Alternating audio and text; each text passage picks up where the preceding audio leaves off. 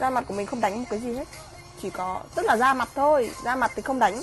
Nhưng mà có à, làm những thứ cứ còn lại như là kẻ lông mày này, đánh kẻ mắt này với cả đánh một tí son. Ông ở hai nơi, cả hà nội, cả sài gòn, thì cứ bay đi, bay về, bay đi, bay về. Chúc em thi tốt.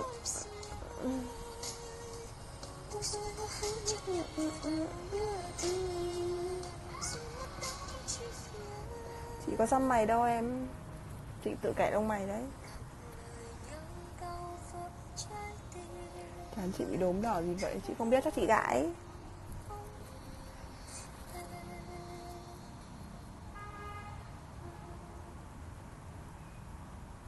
Hà Nội thời tiết bây giờ đang khá là mát.